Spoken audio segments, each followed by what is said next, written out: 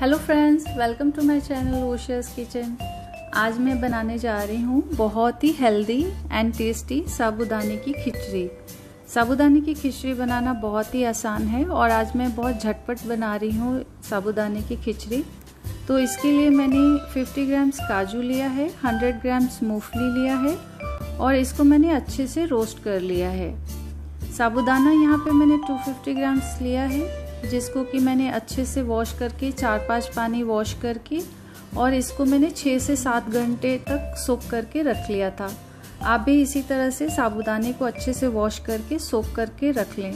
अगर एक कप आपने साबुदाना लिया है तो एक कप पानी डालकर और सोख करके इसको रख दें। इसका फिर पानी नहीं निकालना है। छः से सात घंटे में ये अच्छे से फुल जाती है। दो यहाँ पे मैंने बॉइल्ड पोटैटोज लिए हैं। वन टीस्पून जीरा लिया है, दो ग्रीन चिली और दो रेड चिली लिया है, टू टेबल स्पून मैंने घी लिया है, एक इंच अदरक लिया है जिसको मैंने बारीक काट लिया है और कुछ करी लिप्स एक लेमन लिया है और वन टेबल स्पून मैंने सॉल्ट लिया है। तो चलिए बनाना शुरू करते हैं। सबसे पहले ये जो मैंने काजू और मूंगफली को रोस्ट कर लिया था, इसको ग्राइंड कर लेंगे और साबुदाने में मिक्स कर देंगे। और साबुदाने में इसी टाइम पे जो अदरक है, वो उसको भी मिक्स कर देंगे और जो सॉल्ट है, उसको भी इसमें अभी मिक्स करके रख लेंगे। इससे हमारी टाइम सेव होगी। और सबसे पहले एक कढ़ाई लेंगे। कढ़ाई में घी डालेंगे। जो गैस का फ्लेम है, वो हाई होना चाहिए। अब इसमें जीरा ऐड करेंगे।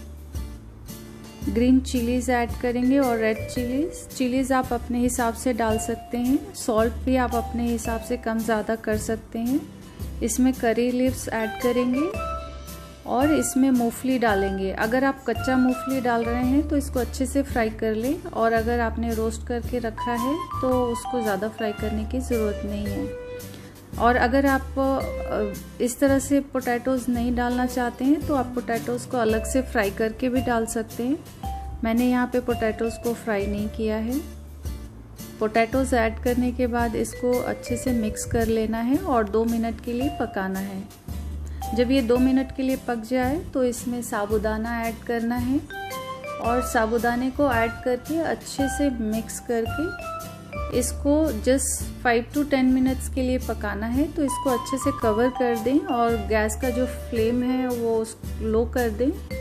और इसको टेन मिनट्स के लिए पका लें। इस बीच में आप इसको एक बार ओपन करके देख लें कि ये ठीक से पक रही है कि नहीं। कहीं नीचे लग तो नहीं रही है। और बस ये बन के तैयार है।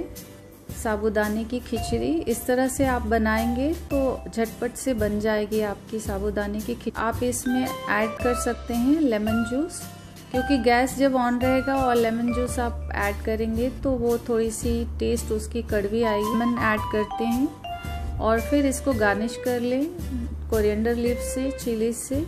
तो ये बन के तैयार है। Thank you friends thank you